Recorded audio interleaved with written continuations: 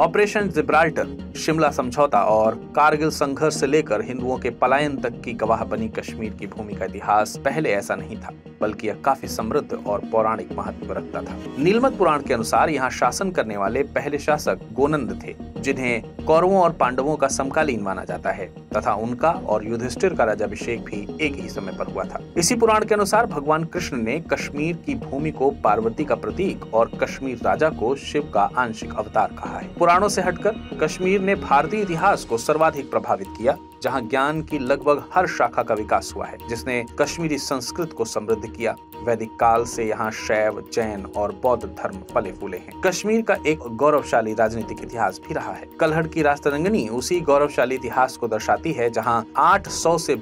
सौ के मध्य कारकोट उत्पल और लोहार वंश ने शासन किया इसी भूमि पर कश्मीर के नीरो के नाम से हर्ष ने भी शासन किया था